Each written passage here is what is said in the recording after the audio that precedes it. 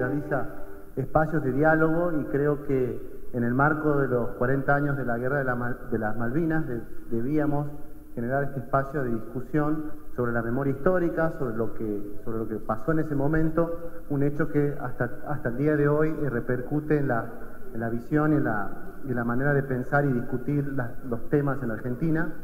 Quiero este, agradecer a Álvaro Urane también, que es un amigo de la casa, y a todos ustedes que siempre nos acompañan, a las empresas sponsors, eh, a la Sociedad Rural de Tucumán, al Grupo Luchi, Argentilemon, a Betex, eh, a Refinor, a Censis, a Trasur y a Partenon. Así que sin el apoyo de todas las empresas tucumanas y también de organizaciones internacionales, nosotros no, podríamos generar todos estos espacios totalmente abiertos al público y totalmente gratuitos. Así que quiero agradecer eso.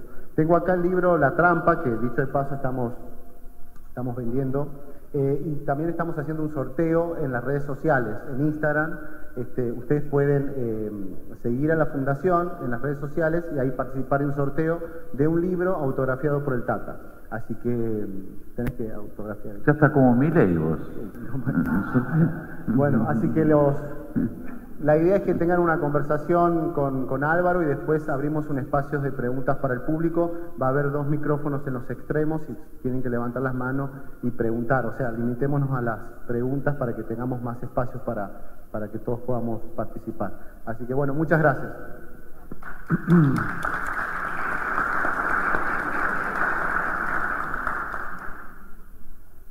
Bueno, muchas gracias, ¿no? Muchas gracias por, primero a, quienes están acá este, llenando básicamente este salón, por darnos parte de su tiempo eh, para venir a, hablar de uno de los capítulos de la historia que se encuentran más presentes en la argentinidad, como es el hecho del conflicto del Atlántico Sur en 1982.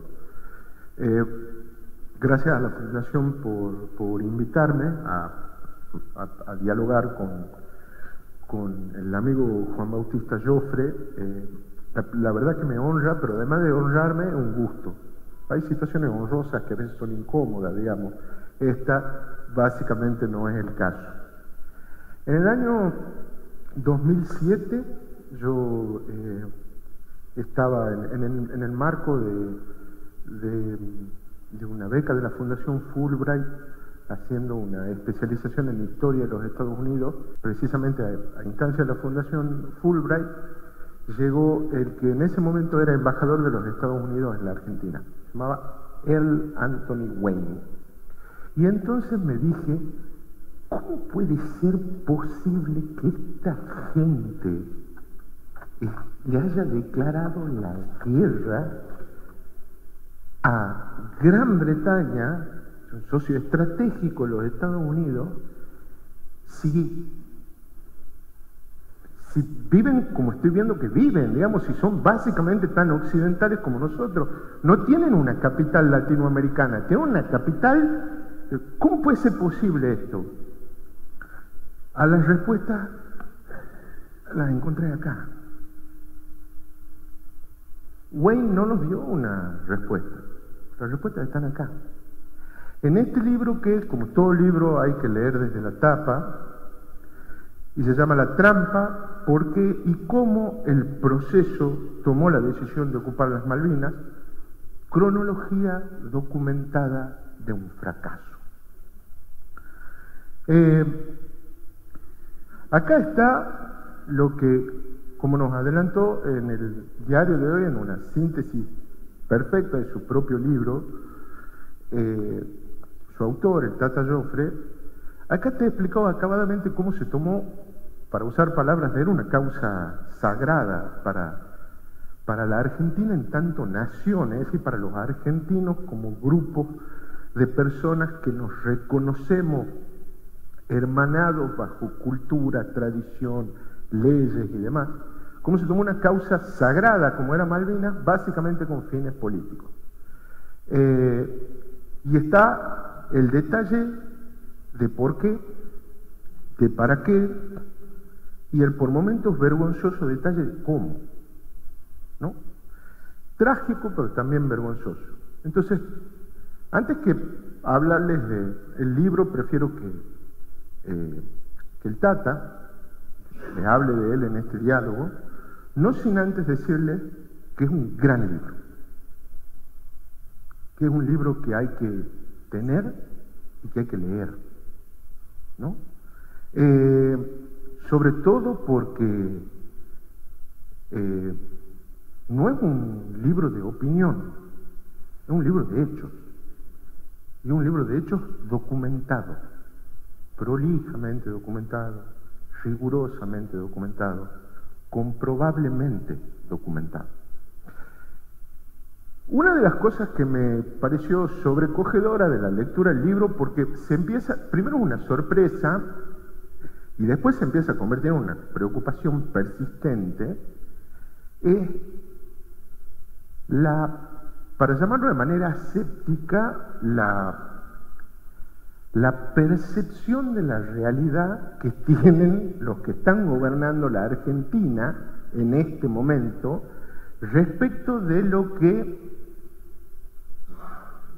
se ve de la Argentina en número, se dice de la Argentina en materia política en la Argentina y fuera de la Argentina también. Entonces, por ejemplo, en la página 19 ¿no?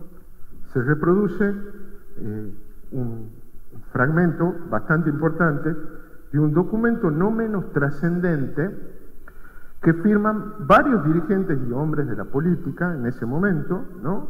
Sánchez Sorondo, Carlos Imbó, Allende, Roque Carranza, un largo etcétera, en la que se le dice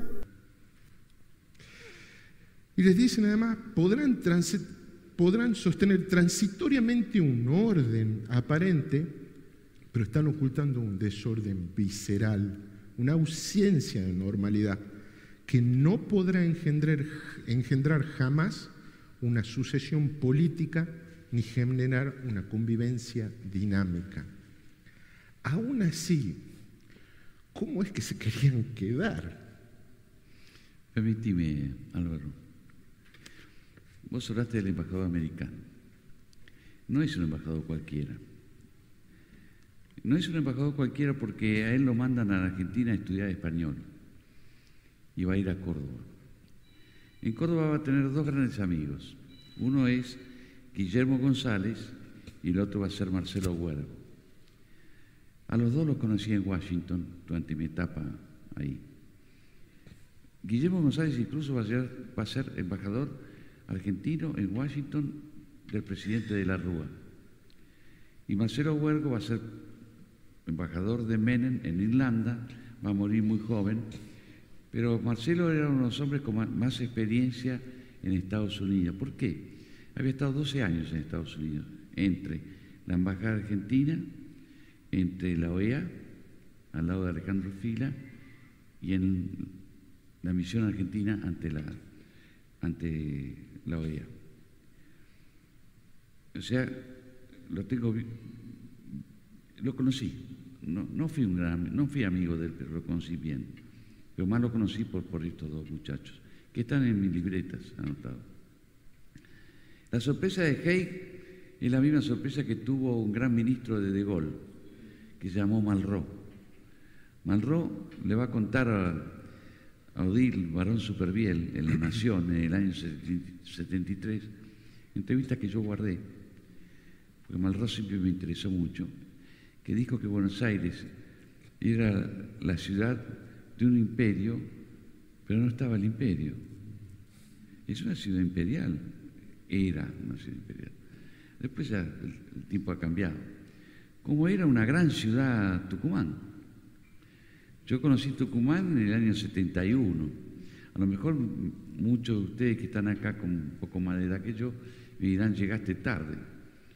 Pero Tucumán de aquellos años todavía podía ver las casas de gente muy honorable que hacía grandes casas en esta ciudad, que no pusieron plata en Punta del Este ni en Miami, sino que la ponían en Tucumán, acá en la ciudad, en Villa Nubé, donde sea, donde fueron además constructores de una Argentina distinta, con aciertos y con errores, pero apostaban a la Argentina. La mejor manera de ver a esa clase dirigente o esa clase política, palabra que no me gusta mucho la clase, es dónde vivían, cómo vivían, cómo eran sus campos, la casa de sus campos. La verdad, era otro tipo de gente. Apostaron a la Argentina. Hoy en día los, argentinos llevan la plata a Miami o tienen grandes casas en Punta del Este, era otro país. Pero perdóname, yo te interrumpí. No, no, me, parece...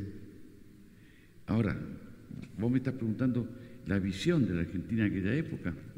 la mejor manera de esa época, quizás usted no lo sepa, pero yo tuve la suerte de caer en paracaídas al mes de la rendición de Puerto Argentino en la casa de Galtieri. Tuve cuatro entrevistas con Galtieri, de las cuales publiqué tres, una me la guardo. y Galtieri me dijo, en un momento le dije a Costa Méndez, ¿se da cuenta, doctor? Yo lo traje para hacer una cosa y salimos haciendo otra. Galtieri era de la idea de que en la política exterior se habían terminado las zonas grises. ¿Qué significa? O se está con Washington o se está con Moscú.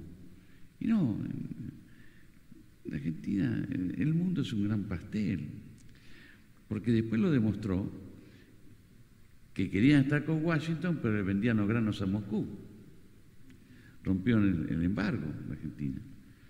Y cuando quiso ser un no alineado ya era tarde. Ya lo no alineado fue terrible. Yo no estoy para correr negro por el pasillo, me dijo el embajador Eduardo Roca. Ah, Pero a la hora de las votaciones, nosotros dependemos de los no alineados. Yo era muy proclive a no alineados. Para que sepan ustedes, en el año 76 se tomaron distintas decisiones en política exterior. A diferencia de Chile, nosotros nos quedamos en no alineados. A Chile lo echaron. Y nosotros nos quedamos en no alineados por dos razones, por tres razones. Primera razón, derechos humanos. Porque ya se sabía que iba a haber crítica, porque ya los militares sabían que iba a haber una política muy dura, que iba a generar críticas en el exterior eso se traslada a los organismos internacionales y ahí hay gente que puede ayudar o no puede ayudar. El segundo es el tema de Bigle y el tercero era Malvinas.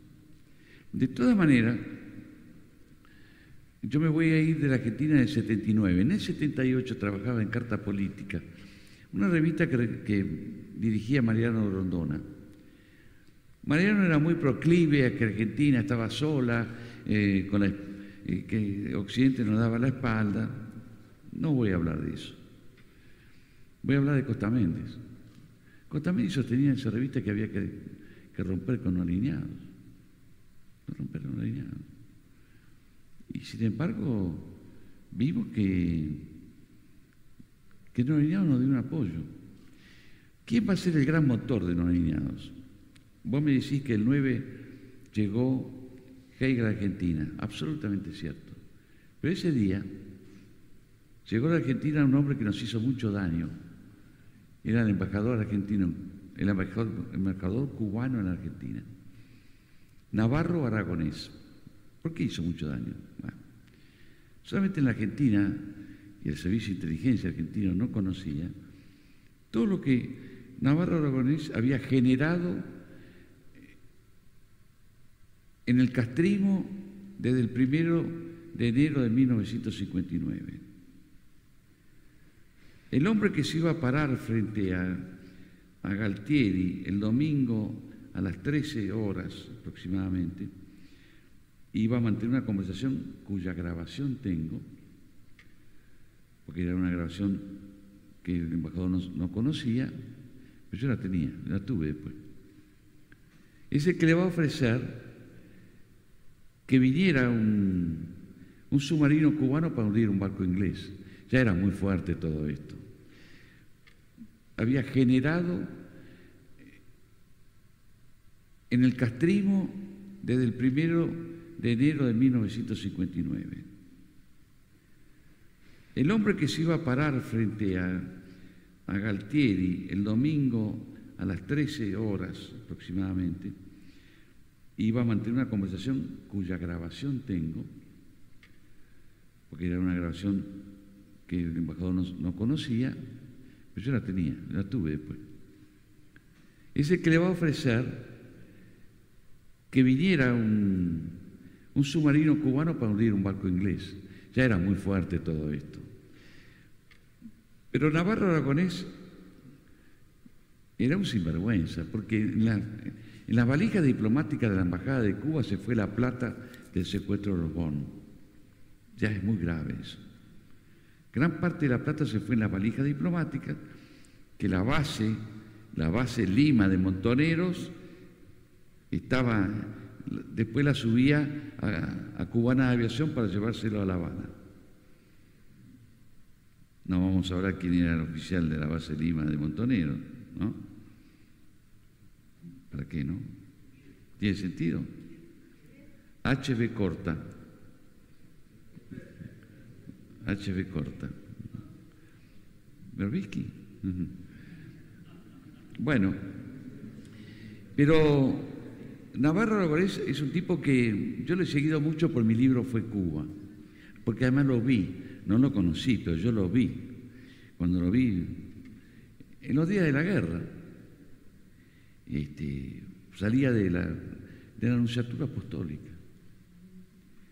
Y él quiso venir con el Che a Bolivia y Fidel no lo dejó.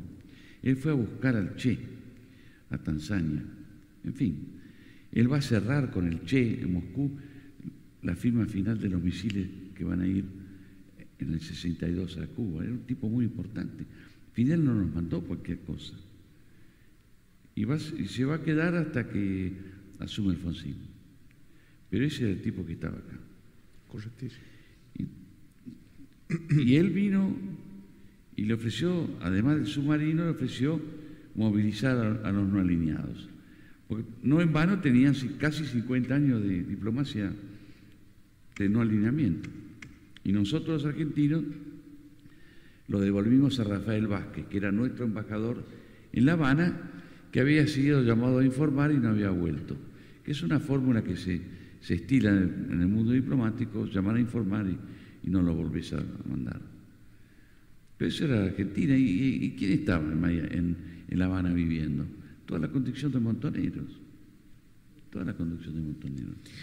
Eh, bien señalabas recién, digamos, este, cómo, cómo básicamente Galtieri tiene una mirada de la, de la, de la política exterior distinta del... La, la política exterior argentina está regida en líneas generales, mientras hemos tenido doctrina, por la doctrina Alberdi, es decir, alineamiento con nadie, negocios con todos. ¿no?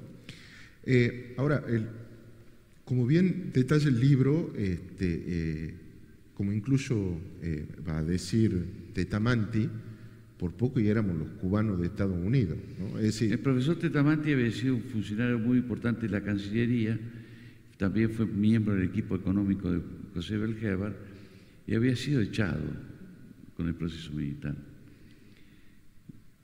Yo le tuve una gran estima. Me lo encontré en Perú en una oportunidad, me lo voy a encontrar en Washington, me iba a visitar a una oficina que yo tenía.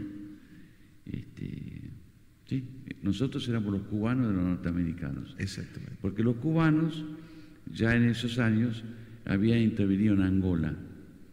Eran carne de cañón de los rusos en Angola, en otras partes de, África también. Y nosotros estábamos con nuestras, nuestros oficiales de Fuerzas Armadas en Honduras atacando a, a Nicaragua.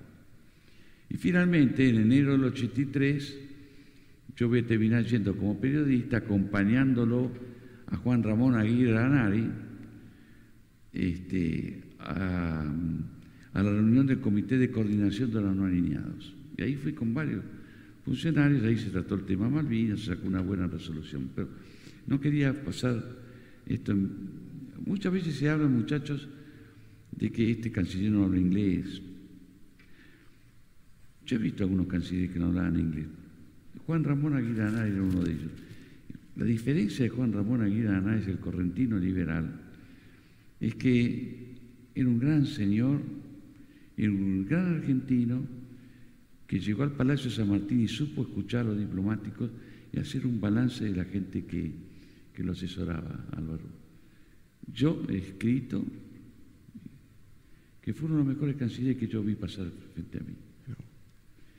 Camilón no era malo, lo que pasa es que Camilón estaba trabajando para un gobierno de ciegos. Correctísimo. Y como contaba además, cuando vuelve Costa Méndez, una de las condiciones era que había que designar un canciller absolutamente comprometido con la con y fuertemente comprometido con lo que iba a ser Malvinas. Con el Beagle y Malvinas. Costa Méndez ya tenía eso en la cabeza. Él nunca lo dijo. Por ahí he leído, hay un escritor, un historiador naval de apellido Bóveda, que dice que Canoro habló de eso con, con Onganía y Onganía no lo aceptó. Eso podía ser aceptado en un gobierno con mucha preocupación, muy apretado por las circunstancias, y por un tipo como Galtieri y Anaya. Yo, he hecho una gran responsabilidad. Yo traté con los tres. ¿Por qué traté con los tres? Galtieri, acabo de decir, tuve cuatro veces con él. Con la Vidosa la compañía hasta prácticamente su muerte. Murió muy mal, en una gran pobreza. Pues yo, no, yo lo iba a acompañar, yo iba a sentarme con él a, hablar de cosas. Anaya me mandó un memorándum y me mandó decir que si quería alguna explicación, alguna duda, que lo fuera a ver. Y la verdad que yo no lo fui a ver. Este, pero te tengo que contar que una vez Videla me contó, en mi libro ahí no está indicado Videla, ahora sí está indicado Videla. Yo conocí a Videla en el año 2006 para hacer mi primer libro se llamó, se llamó Nadie fue. Y le dije, vamos a hablar, vamos a hablar de récord general. Yo no pateo a la gente cuando está en el piso. Yo no haría un libro para que lo manden en cana videla, lo escupan. No, yo esas cosas no hago. Yo he ido a casa de gente muy pesada prefiero la información y después ya, después empiezo a desclasificar una vez que se murieron. No lo molesten. Y una vez, eh, hablando con él, ya no en el 2006, sino sería el 2011, porque entre el 2010 y el 2011 escribí mi primer libro de Malvinas, eh, es un libro 1982. Digo, general, ¿cuándo se enteró usted de Malvinas? Me dijo, mire, el primero de abril yo fui al colegio militar, había una ceremonia. En un momento, como dicen los militares, había un refrigerio, le gusta la palabra refrigerio a los milicos, había un refrigerio y alguien me preguntó este, si yo había escuchado algo de movimiento de tropas, una invasión. Yo no he escuchado nada.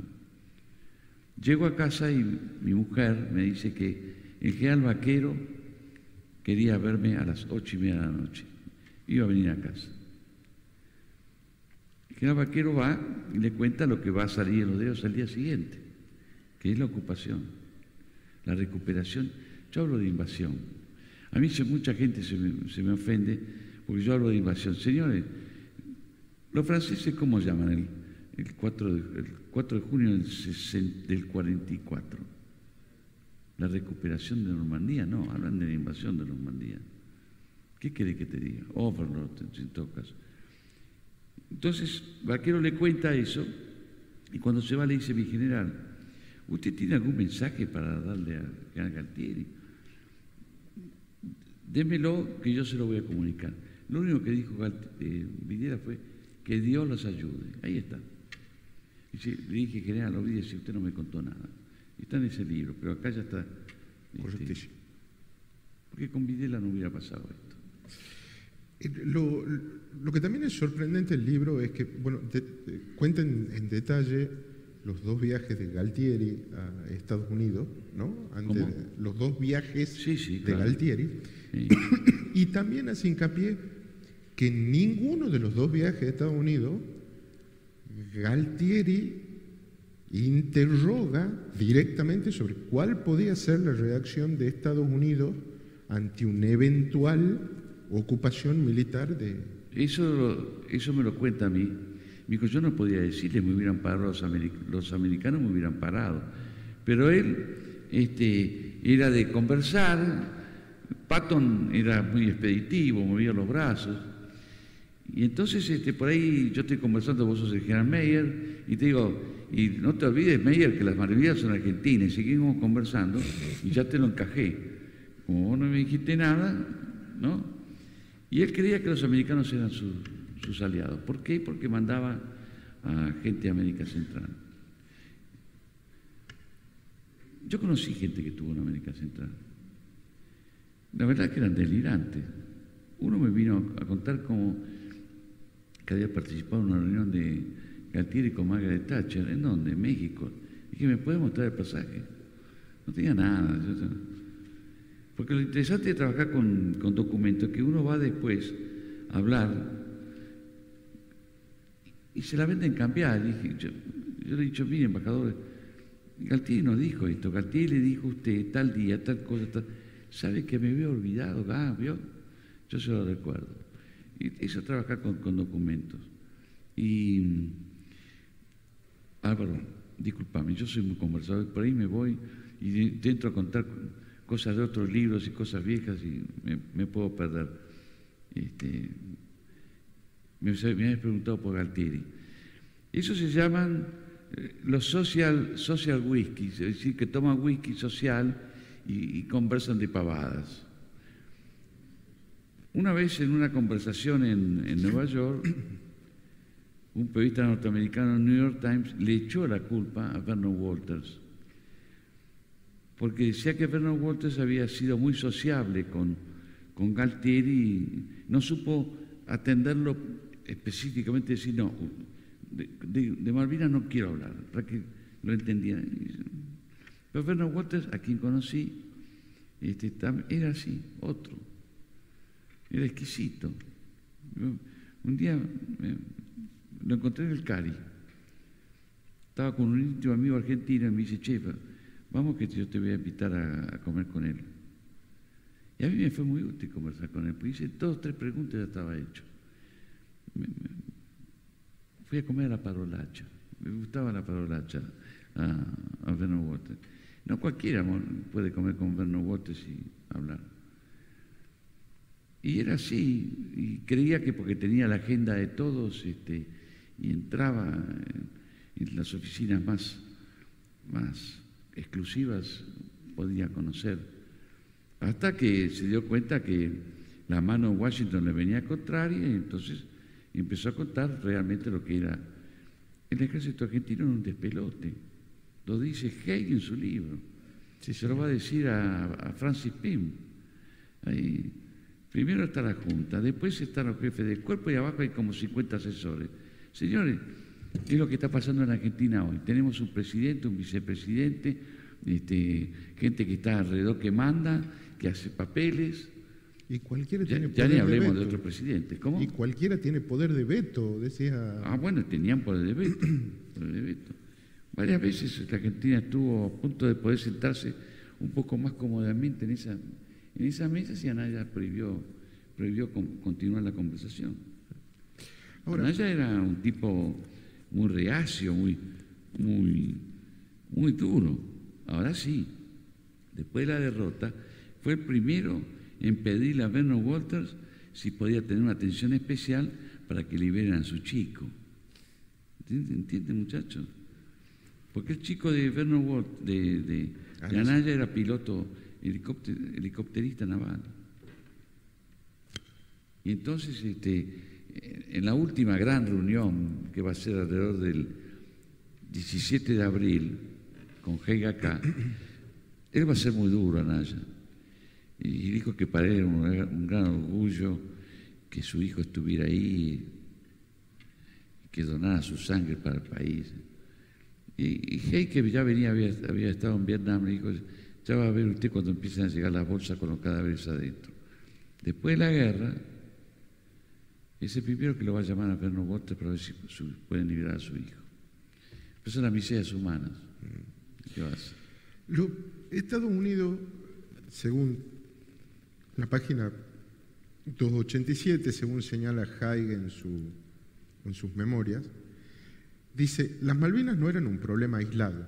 Entre otras cosas, involucraba la credibilidad de las ya tirantes relaciones de la Alianza Occidental, la supervivencia o el fracaso de un gobierno británico que era leal, amigo a los Estados Unidos, el futuro de las relaciones políticas norteamericanas en el hemisferio occidental, así como en Europa, la posibilidad de otra peligrosa incursión estratégica de la Unión Soviética en Sudamérica y, lo más importante, una irrefutable prueba de la confianza norteamericana en el imperio de la ley. ¿En el imperio? De la ley, el imperio de la ley. Ahora, este mismo Alexander Haig es el que cuando ya es inminente, digamos, la, llegada de la flota eh, y, y Galtieri, como vos bien señalas, muy suelto de cuerpo, ya le decía al aire, digamos, que los cubanos y los rusos ah, podían ser. Usted, usted, usted es militar. Usted sabe que si me, crean un cerco, tengo que saltar el cerco. Exactamente. Ah. Entonces, cuando él empieza a, formular esas amenazas, Hey le dice, no, mire, el comunismo es ajeno a las ideas y a la propia religión y espiritualidad de los argentinos. Ellos nos tenían bien junados, ¿no? Sí. ¿A nosotros? Sí. ¿Los americanos? Sí. sí. Yo estuve dos años y medio ahí. Este, es muy feo decirlo, pero eh, tenían muy cunados. tenían, no digo desprecio, pero por lo que había pasado en Argentina. Lo dije el otro día en el programa de España. Había mucho odio el 24 de marzo.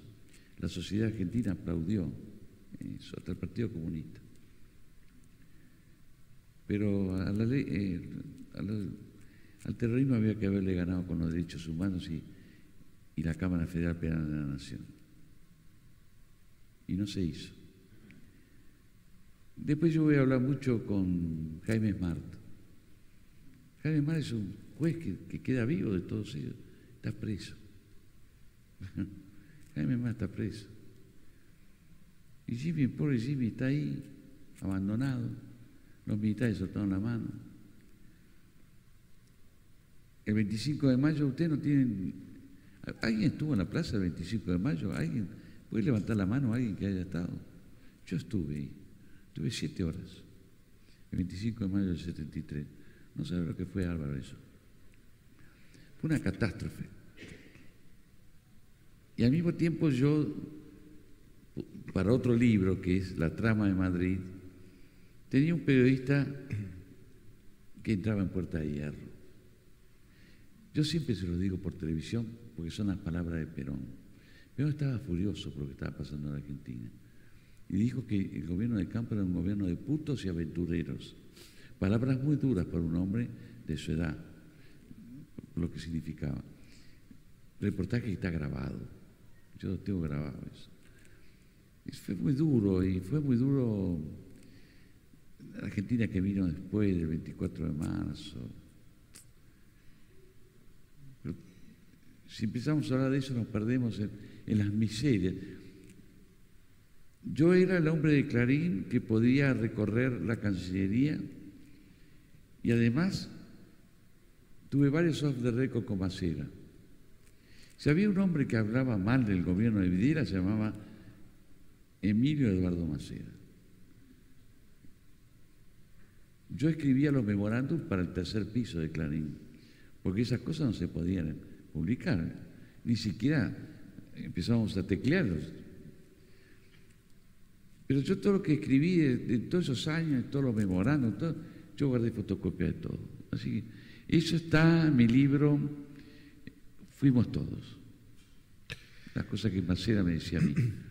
Eh, ahora, tu libro reproduce eh, la resolución 502 del Consejo de Seguridad de la ONU, eh, que básicamente está acá en la 253, ¿no? Y dice, se exige la... La 502, la resolución 502. Exacto que dice, exige la cesación inmediata de las hostilidades, exige la retirada inmediata de todas las fuerzas argentinas de las islas Falkland, Malvinas, exhorta a los gobiernos de la Argentina y del Reino Unido a que procuren una solución diplomática a sus diferencias y a que respeten plenamente los propósitos y principios de la Carta de las Naciones Unidas. Ahora, esto es leído en el gobierno casi con optimismo. Es decir, cuando van a discutir, vos lo contás, cuando van a discutir si van a plantear rechazo o no a la resolución, dicen que no porque no mencionaba que éramos un país agresor, porque ya habíamos replegado tropas y porque sobre la base de eso Gran Bretaña no podía atacar y ya habían mandado la flota. Es decir, ¿por qué esa distancia de percepción? Porque, Álvaro, la invasión es el día 2 de abril, Menéndez va a viajar el, 5, va a asumir el 7, pero ya antes Margaret Thatcher, que no estaba bien políticamente dentro de Gran Bretaña, tenía sus dificultades, va a dar la orden de armar la flota, operativo, el operativo corporate. Al ver la Argentina que Margaret Thatcher prepara una fuerza militar, el plan D más 5 se cae a pedazos. Porque para qué el plan era tener una pequeña dotación de militares argentinos, más el gobernador Menéndez, y negociar con Gran Bretaña la soberanía argentina. Y dije, este tan loco. Vamos, vamos a mandar la flota. A partir de ese momento, la Argentina empieza a cargar las islas con dotaciones gente. Va a ir la tercera brigada, va a ir la brigada 10, va a caer Parada, Cofré, Daer, que estaba ahí porque había sido responsable militar de la ocupación, no sabía dónde ponerse porque había llegado Menéndez. Menéndez, que iba a llegar como gobernador, era gobernador y además tenía un papel militar que cumplir, que no estaba previsto en los planes. Todo fue muy improvisado. Mirá, él era jefe de tres operaciones de Estado Mayor de Ejército. Ahí lo llama Gatti y le dice, ¿cómo anda su inglés? bueno, bueno, usted va a ir a Malvinas. Es un tiempo, son seis meses después vuelve a su cargo. Pero Galtieri se olvida de que cuando él asume hay que empezar a achicar gastos en el Estado. Entonces, ¿qué hace? se empieza a reducir lo que es la, el llamado a, la colimba, el llamado.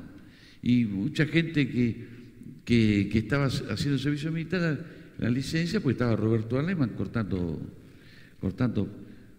Y al mismo tiempo vos estabas planificando una invasión. O sea, que ellos preveían que no iba a haber este, respuesta militar. Y de pronto apareció Estados Unidos. Lo llaman lo llaman a Galtieri. Ronald Reagan lo llamó a Galtieri, señores. Lo llamó y Galtieri no lo atendió. Lo va a atender a las diez y media de la noche. A las diez y media de la noche conversan y graban una, una conversación que no se grabó. Este, tuvieron que reconstruir la conversación a mano. Yo te dije que te iba a hacer un regalo, te lo voy a regalar ahora. Sí, sí. Está contado acá en La Trampa, como también en 1982, que hay un coronel de la Nación encargado de conectar la grabadora. Que salió a salto de rana. lo hicieron salir a salto de rana. Me lo contó el, traductor simultáneo, que era García Moritán, el papá del, marido de, de, Papita, para que tengan referencia, ¿no? Este, Bovir es un gran tipo, estuvo conmigo en Washington, le estaba en la embajada. Yo estaba en el Banco Interamericano de Desarrollo. Entonces, cuando, cuando, cuando se termina la conversación, que venga el coronel, dice Galtieri, y entra el coronel, rebobine, porque ocurre que es un, era un mamarracho todo eso, parecía una película de Botti Costello, porque Galtieri se para al lado de García Moritán, estaban los dos compartiendo el tubo. Uno escuchaba hasta que Galtieri se dio cuenta que era más alto que García Moritán y se sienta en su, en, en su sillón de, su mesa de trabajo. no estaba en el despacho presidencial. Entonces él no escuchaba lo que decía Ronald Reagan, el que escuchaba era García Moritán que le traducía.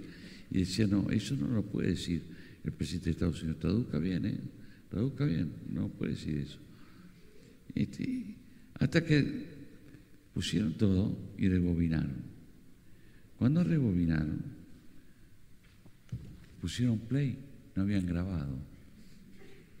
Tuvieron que reconstruir la conversación a mano. ¿Eh? Toma a mano. Quédatelo. Después yo tengo otro, otro memorando que va a ser García Moritán para Costa Méndez. Increíble. Pues llegó a las 12 de la... Ah, no, no, no, esperá. Ahora les voy a contar algo más. García Moritán sale de presidencia esa noche y lo llevan directamente al comando en jefe del ejército. A ver qué iba, de, qué iba a hablar, qué iba a contar.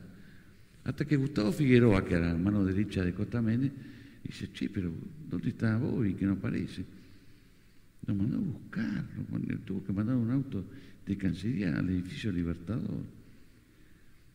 Entonces, a partir de ese día, señores, va a aparecer, Galtieri va a ser lo que se llama el sistema. ¿Qué es el sistema? La grabación. La CIDE va a hacer la grabación, va a instalar el sistema de grabación de sus conversaciones en la oficina y sus conversaciones telefónicas. ¿Saben quién apareció? Jaime Stius. Él ya estaba en la CIDE desde el año 72. No es que me lo contó, me lo contó Stius. Dijo, jefe, me dijo, usted dice tal cosa el otro día por televisión, en la segunda fui yo. Yo puse bien los micrófonos. Bueno, yo tengo parte de esas grabaciones. En Yo- el, Yo tengo parte de esas grabaciones. Cuando a mí me hablan de que Galtieri era un borracho, como dice Pérez de Cuellar en su memoria, una conversación que mantiene, yo digo, no, es falso. Yo lo he escuchado. No está borracho. No está borracho. No tiene, no tiene derecho a mentir. Si está borracho, yo te digo es borracho. Conmigo tomó paso los toros y té. Y cuando tenía sus reuniones, porque se escucha, ¿qué va a tomar mi general? Le decía Reno Waters, embajador, ¿qué quiere tomar? Y él tomaba paso los toros y se escucha al mozo que viene y que hace clic. No tomaba whisky. Entonces miente uno parece como cuidándolo a Galtieri. No, hermano, si vas a decir la verdad, decir la verdad, eh, contarla toda. el, el libro La trampa detalla cómo Alexander Haig se convierte en pasajero frecuente, digamos, entre Londres y Buenos Sí, Aires. sí, son, son dos viajes a Londres, dos viajes a Buenos Aires. y que en eso eh, traía propuestas y contrapropuestas eh, británicas que la Argentina rechazaba sobre la base de que, uno, no se reconocía su soberanía, dos, se pedía poner a Malvinas un año después fuera de los territorios no independientes, con lo cual se decía la Argentina va a terminar perdiendo Malvinas. ¿Esto efectivamente era así? Hay, ¿Esa es la hay- interpretación hay- hay correcta? dos inconvenientes muy, muy, muy serios que pone la Argentina en las negociaciones. Primero, las negociaciones diplomáticas debían terminar el 31 de diciembre de 1982 y la soberanía pasaba directamente a la Argentina. Entonces, ¿para qué no vamos a sentar a negociar la soberanía si vos el 31 de diciembre me decís que va a ser Argentina? La segunda es los Kelpers, que eran ciudadanos de segunda categoría a quienes había que tener muy en cuenta sus deseos y no sus intereses. Eso es una trampa inglesa. Una cosa es un deseo, otra cosa es una- un interés. Porque le dan una voz que no tenían. Eso fuimos culpables nosotros. Y a, a- a modo de cierre, ¿no? O sea que una, tuve oportunidad de participar una vez de una, de una charla que daba un, un internacionalista bastante joven que se llamaba, o se llama, Rodrigo Calle, después le, le perdí el rastro, Fabián Calle, Fabián Calle, Fabián Calle, sí, muy amigo mío. era bueno, que Fabián decía que, eh, eh, eh, perdonen el reduccionismo, eh, era como que a partir del atentado en las Torres Gemelas habíamos vuelto a perder Malvinas, ¿no? Porque a partir del atentado de las Torres Gemelas en, en 2001, eh, había una suerte de coincidencia general que si el terrorismo tenía que volver a golpear al capitalismo, ese golpe iba a ser en el canal de Panamá. Y consecuentemente lo único que iba a quedar para conectar el mundo era la confluencia natural de los océanos y quien controlaba esa confluencia era quien controlaba Malvinas. Entonces que para las grandes potencias occidentales era más confiable tener a Gran Bretaña ahí que tener a la Argentina. estás olvidando de algo, Álvaro. Que los argentinos pusimos una base china. Entonces lo que te quería consultar era, 40 años después, ¿cuán cerca o cuán lejos estamos de Malvinas? Yo creo que Malvinas está cerca si la Argentina se convierte en un país importante, sólido económicamente, tiene una fuerza más que respetar. No es una potencia moral la Argentina, pero digamos, si tiene una economía, son los dos pilares básicos de una negociación diplomática. ¿Qué tenés en economía? ¿Qué tenés en fuerza armada? Y la verdad que estamos muy caídos, estamos muy desprestigiados. Estamos a punto de tener una, una presidenta que tiene causas abiertas por, por hoteles, que, ha hecho desastres, con gente que está buscando la plata debajo de la tierra, a ver si dó- dónde puso esta mujer la, la plata, con bolsos que se tiran a través de... No, es un desastre Argentina. Entonces, ahí estamos muy lejos. ¿Por qué estamos muy lejos? Porque no, pode- no somos confiables para nadie, Álvaro. No somos confiables para nadie. Y va a llegar un momento, siempre llega ese momento en donde tenemos que ser creíbles, porque en algún momento, en, algunas, en algún año, vamos a empezar a hablar en serio de la Antártida. Y yo quiero ir a la Antártida de brazo con los ingleses. Pero para eso tenemos que ser fuertes. Gracias si por el libro. ¿Eh? Muchas gracias por el libro.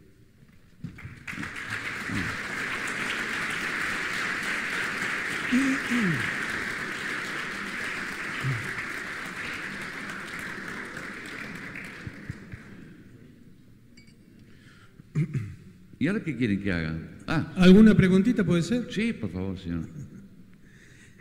Tata, yo soy patagónico, nacido en Puerto Deseado en la provincia de Santa Cruz. Sí. Y soy un NIC de cuarta generación, un nacido y criado de cuarta generación en la provincia de Santa Cruz. Las Islas Malvinas siempre fueron para nosotros algo muy importante, más allá de todas las discusiones políticas que a veces se dan y más allá de la guerra de Malvinas. Y pienso a futuro. Hay dos elementos sobre los que te quiero preguntar. Primero, los malvinenses se están haciendo multimillonarios gracias a los permisos de pesca. Así es. Ese es un factor importante dentro de la cultura inglesa por el cual incluso ellos se sienten muy presionados y han dejado de ser ciudadanos de primera categoría. Y el segundo elemento es que el Juzgado Federal de Río Grande es competente desde el punto de vista del sistema de administración de justicia de la República Argentina para entender en todos los casos que se incluyan, que tengan como inclusión eh, lo que ocurre en Malvinas y lo que ocurra todo en el mar adyacente, incluida la isla Georgias. Mi pregunta es esta. Si hay barcos pesqueros que están sacando recursos argentinos del mar argentino, y yo pudiera certificar de alguna manera que ese buque está ahí en esa posición geográfica que es el mar y que está exportando productos contrabandeados, porque son peces argentinos. ¿Qué tipo de impacto internacional puede llegar a tener abrir una causa penal por contrabando y ordenar la captura de ese buque, el embargo internacional de ese buque de acuerdo al derecho internacional público por el delito de contrabando? ¿Nos podría poner en una posición eh, desde la Cancillería difícil? ¿Podría ser un instrumento? Hermano, tenemos aviones que no pueden volar, los pocos que pueden volar, no pueden volar porque no tenemos combustible. Los barcos siguen- se, se hunden en Puerto Belgrano. No estamos en condiciones de nada. Yo diría que la, mm, eh, Ah, ahí la te- Guardia Costera es más importante que la Armada. ahí- ahí- ahí tengo un Tenemos dato. un jefe del ejército que habla de soldados y soldadas. Este es un mamarracho, mi querido amigo. Este, la pesca. Yo, si yo, yo soy presidente, discúlpeme si no quiero ofender a nadie, ¿no? Yo me sentaría con los ingleses y digo, mire muchachos, vamos por un tiempo, denme el 25% de lo que ganan acá. Me tiro el lance con el 30%. ¿Sabe por qué me tiro el lance? Porque me están diciendo que en el conurbano hay gente que se muere de hambre. Ese 30% no necesito. Dentro de 20 años, otro gobierno serio pedirá el 50 y después pedirá, pero me sentaría. Eso fue un espíritu que se vio durante Menem. Ditela lo supo hacer, pero se le burlaron. Después vino este hombre del sur. Este hombre del sur este, creyó que, era el vengador anónimo. ¿Eh? Y no nos van a dar pelota, señor. Además, vamos a ser este, agraviados. Además, para, para tomar un barco ruso, chino, esto y el otro, usted necesita un barco en serio. Y la Armada está muy mal. Y los soldados y las soldadas están de este lado. No, no. Están, todo, están, para el verso. Pero con el verso no se arregla esto. Entonces tiene un, un tipo en la Cancillería que tiene discursos muy duros con Gran Bretaña, de la misma manera que, que Kirchner tuvo discursos muy duros con Uruguay, cuando las pateras se fueron del otro lado, señor. Y las pateras se fueron del otro lado, porque acá habían señores en Argentina que querían el 20% de las acciones de las fábricas. ¿Entendió? hasta que la Argentina no sea seria y sea gobernada por chorros de cualquier categoría política, y estamos muy embromados. Y entrar, a gente, entrar al gobierno nacional y empezar a hablar en estos términos, te excluyen. No dura seis meses. Empieza a decir a las reuniones y se empieza a callar la gente. Depende de nosotros. Ortiz Rosas en el año 81 sostenía que por lo menos hasta el 2000 los ingleses no iban a, negociar la soberanía de Malvinas. Eran 20 años. Pero no, Anaya quería ya. Ahora, ¿por qué el resentimiento de Anaya con, con Inglaterra? No lo conozco. ¿Usted sabe que se conocían Anaya y Margaret Thatcher? ¿Está bien? Cuando, él es agregado militar, agregado naval en Londres, vivían en el mismo edificio. Él lo ha contado. Se saludaban dentro del ascensor, pero nunca se sentaban a, conversar. Cuando yo mato un agregado naval, es también un embajador que se puede sentar con una, con una dirigente política que todavía no había llegado a primera ministra, va a llegar unos años después, en el 79 va a llegar María Thatcher. Y creo que hubo algunos inconvenientes de tipo social, porque él tenía piel oscura frente a otros compañeros que eran más rubios. Y él se sintió discriminado. Él era el hijo de un boliviano. Iba a ir a Francia después de Londres. Su primer trabajo académico es un plan de invasión de Malvinas, que sabe que desapareció del archivo de la Armada desapareció. Y entonces me hizo acordar a cuando yo escribía en 1982. Yo hablaba con un almirante, me dijo, mira, Tata, llévatelo, porque en el archivo de la Armada lo van a robar. Y era la primera orden escrita de Anaya de ocupar Puerto Stanley, firmada el 22 de diciembre del 81 el mismo día que asumió Galtieri como presidente de la Nación. Estaba todo dicho. Esa es la prueba más clásica. Al, día siguiente está la orden de recepción del almirante Vigo, jefe de Estado Mayor de la Armada, para sus oficiales de Estado Mayor. Pero la primera orden en Anaya, escrita a mano. Una neta muy chiquitita que se la llevé y se acompaña y lo que hago con vos, tomen, señor, acá tienen el documento fotocopia. Desaparecen los papeles, nadie quiere sentirse comprometido. ¿Quieren hacer una pregunta? Adelante. Eh, yo quería hacer una pregunta. Sí. Usted lo tocó al pasar sobre la base china.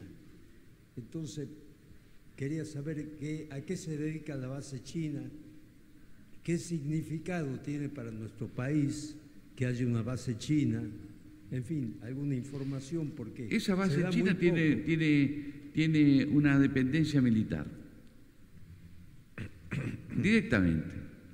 Hoy hay un escándalo en televisión, porque mi sobrino es embajador argentino en China. ¿O ustedes se olvidaron? Es- estos son Vaca Narvaja. Sabino. Son hijos de Fernando Vaca Narvaja Joffre. Este, y este pibe andaba, eh, eh, ahora hay pruebas de que estaba haciendo lobby para una empresa china. La empresa china, que está acá, que quiere meterse en, la hidrovía, eh, está manejado por una mujer china, cuyo marido trabaja en la embajada de China. Es un partido único, es un gobierno único. Yo no quiero nada con los chinos, por favor, les pido. Pero tráigame un socio occidental. No, no quiero nada con los chinos. Yo creo que también Estados Unidos se ha retirado mucho de América Latina. Yo quisiera ser socios americanos, franceses, ingleses. No me traigan los chinos, los rusos, por favor. Ya han entrado muchos los chinos acá. Pero los argentinos han margen, sido cómplices de eso porque siempre hay un business. al margen de eso, ¿han traído algo positivo la base china o algo negativo? No, Marco, no. ¿Usted comenta? Digamos, yo he sido embajador en Panamá. Las bases norteamericanas, a su alrededor, cuando se levantaron, le crearon un problema económico a Panamá. ¿Por qué? Porque alrededor de las bases se movían 500 millones de dólares anuales. Es plata en Panamá. ¿Y por qué? Bueno, porque hay negocios, comercios, gente que corta el pasto, la maleza, esto y lo otro. Y los chinos no. Usted no entra. Usted no entra. Como argentino no entra. Pero no sabemos qué tienen, a qué Bueno, se se contó satelital. ¿Para qué? Desde acá. ¿Cuánto, cuánto, cuánto costó? ¿Cuánto costó? ¿Qué favor tuvimos que hacer? Tata, una pregunta más. Eh, a Costa Méndez lo respetábamos muchísimo allá lejos de ese tiempo cuando hacía Derecho y Política Internacional. Realmente para mí es un, un enigma, un misterio, los móviles de él o la actuación de él en el conflicto que estamos analizando. Mire, yo conocí bien a Canoro Costa Méndez. Gracias a él, yo voy a entrar en la Cancillería en el año 69 y me voy a quedar hasta el 72. Ahí yo conocí a todos los diplomáticos jóvenes que después van a tener cargos importantes en el 82. Con muchos conviví socialmente en Washington. Costa Méndez nunca se explicó de por qué lo echaron a él. El 29 de marzo del año 69 hubo un cordobazo. La gente gritaba contra Krieger Bacina, no contra Costa Méndez. Sin embargo, Ganía lo cambió también a Costa Méndez. No es que me lo contaron, lo escuché en mi casa en una visita de Costa Méndez y su mujer. ¿Eh? Juan B. Martín, Juan B. Martín que venía de Japón, que era más duro que Costa Méndez en el tema cubano. Sí, sí, eso lo va a encontrar usted en mi libro Fue Cuba. Juan B. Martín, un gran señor, un empresario, y después va a venir ya un tipo más serio, que era Luis María de Pablo Pardo, que va a ser canciller de Leviston y de la NUCE. Luis María de Pablo Pardo va a ser el hombre que lo lleva a la NUCE a Salta el 24 de julio del 71 a firmar el acuerdo del Bigle. Yo estoy ahí. Eso va a estar en mi libro, qué sé yo ya. Debe ser, en, en Volver a Matar, que es el libro sobre la ca- de año. Y, y la verdad que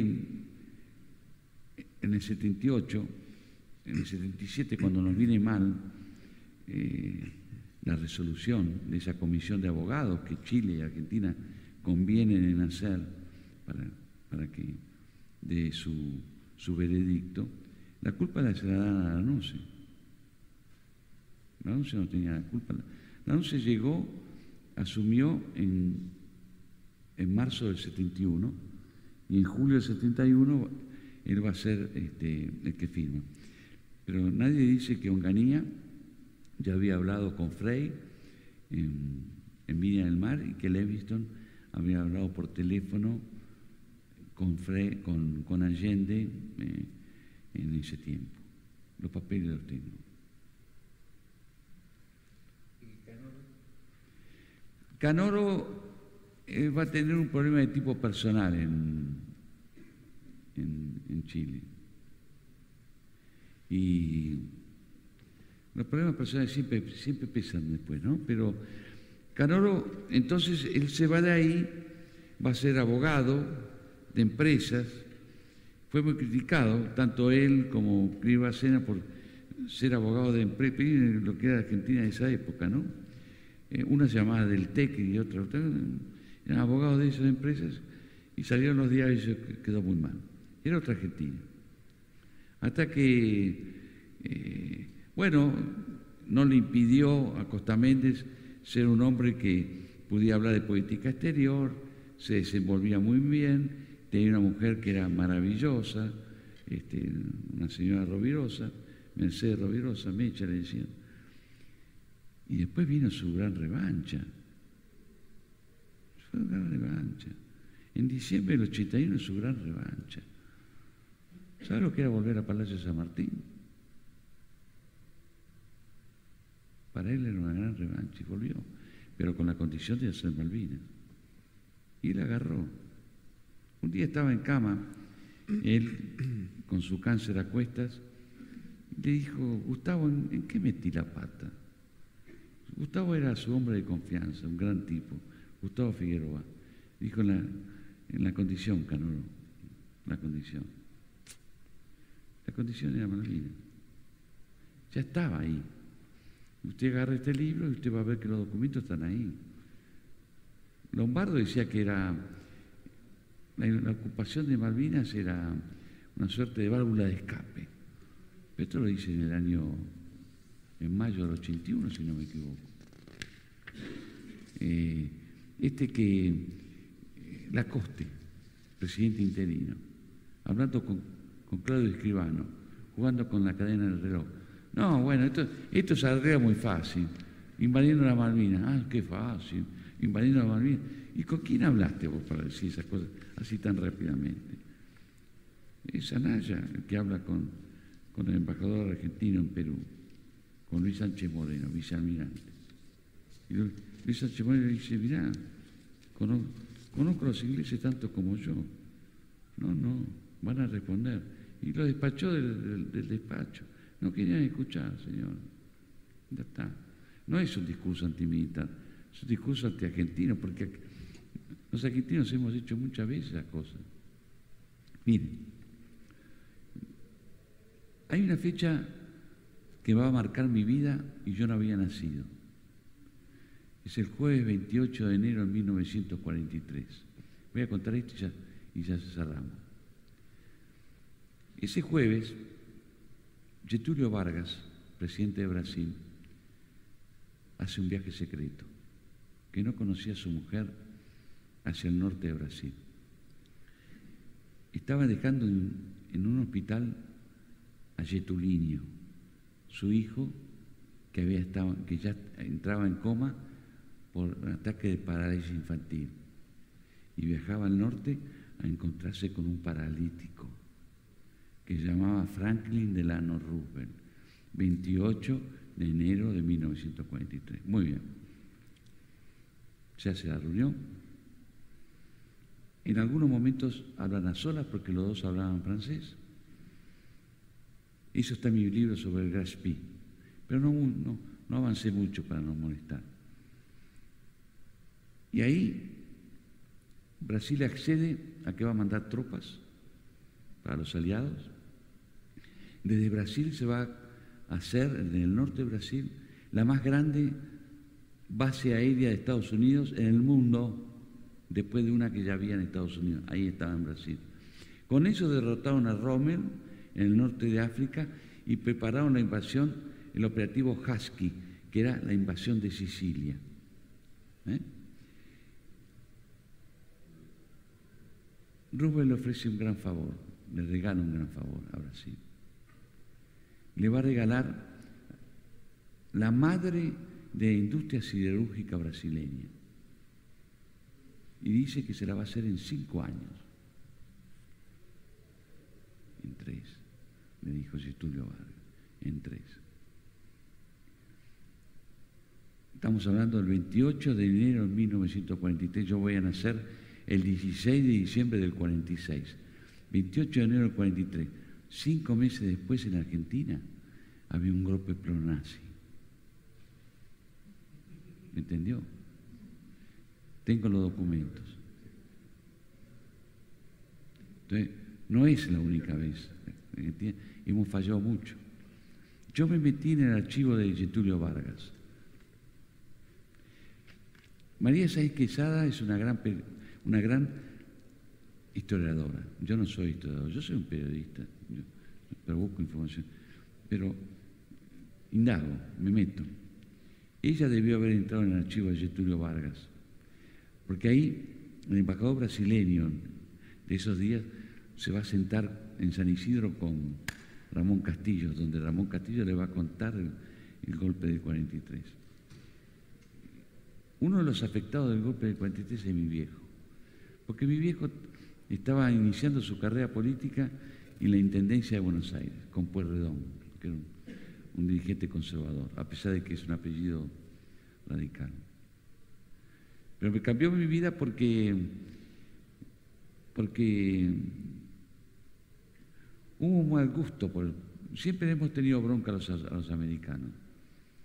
En las encuestas, el país de América Latina donde Perón aparecen, los Estados Unidos y en Argentina. Hay algo nosotros que somos europeos, tenemos algo especial con estos tipos a quienes hemos maltratado porque eran, podían tener mucha plata pero eran los ignorantes. Señor, en el año 43, los americanos hacían un barco de transporte Liberty por día.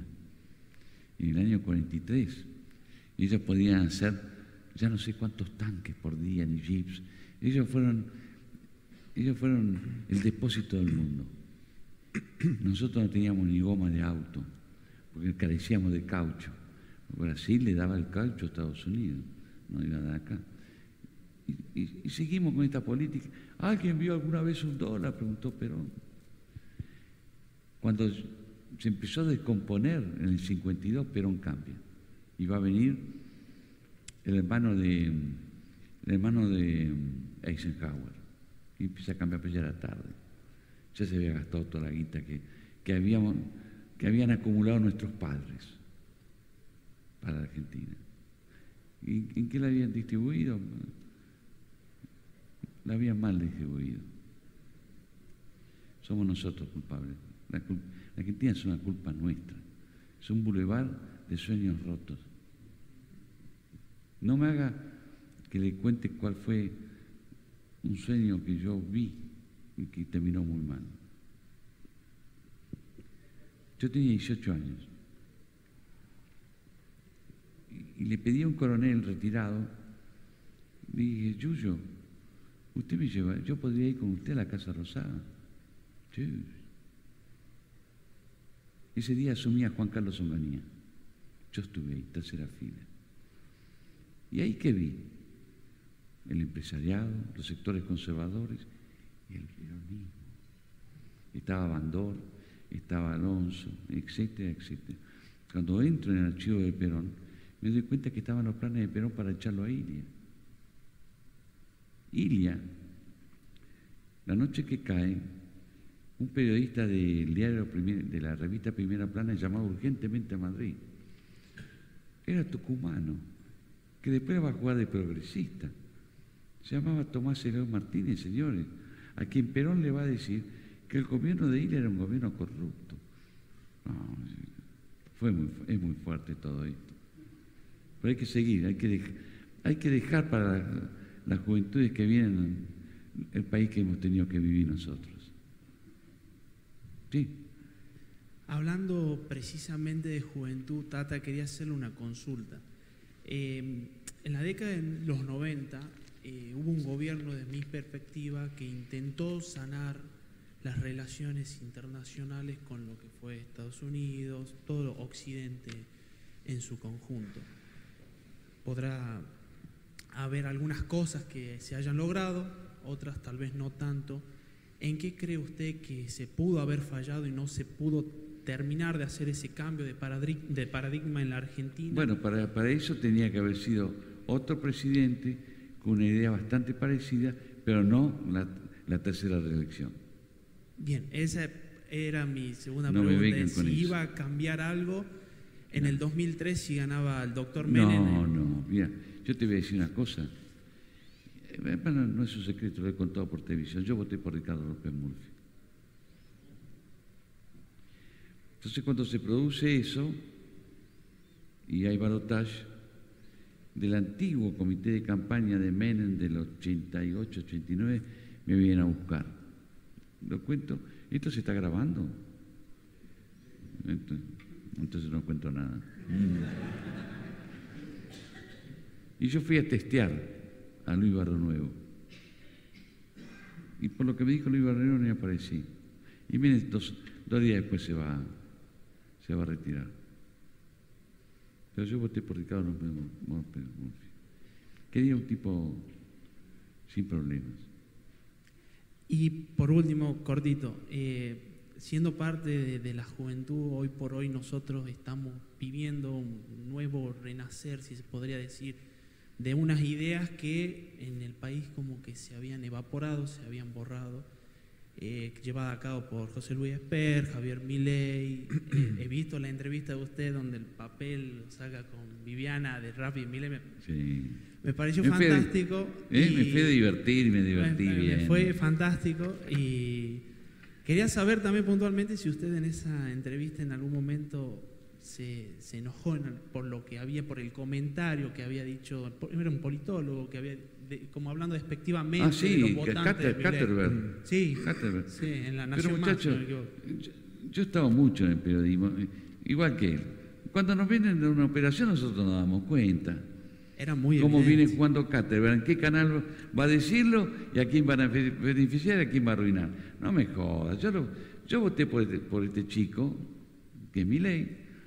Ahora, eso no quiere decir que yo lo voté para presidente, yo quiero saber qué plan tiene, cómo lo va a hacer. En mi casa tengo toda la casa tomada por mi ley, pero somos todos independientes. Quiero saber, quiero saber qué va a hacer Macri. Porque muchos no le tienen fe, yo tampoco le tuve fe, ahora le tengo fe. ¿Sabe por qué? Porque fue a la presidencia y fracasó. No va a repetir fracaso. Y porque, y porque de a poco va teniendo eh, un va, va- va reconociendo él su fracaso.